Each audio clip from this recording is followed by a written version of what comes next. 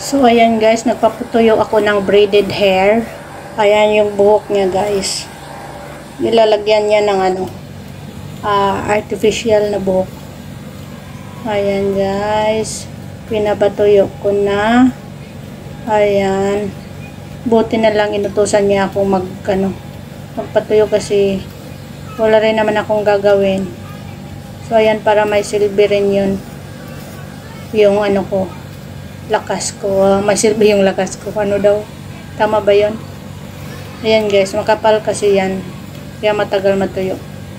Kaya tinulungan ko na lang magpatuyo ng buhok. Linuwer ko. Ayan, ayan, ayan. Dati kasi hindi ko alam. Akala ko naman totoo yung mga ganyang mga buhok. Original. Yun pala dinodugtong lang nila.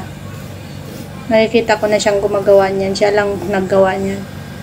Dati nagpagawa siya pero ang mahal naman. Hingi sa kanya.